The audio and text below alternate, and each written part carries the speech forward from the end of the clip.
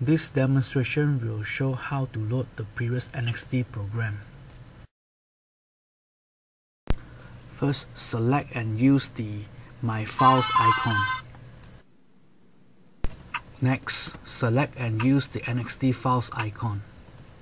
Finally, select the Object 0 and run the program. To stop or interrupt the program, press the gray square button.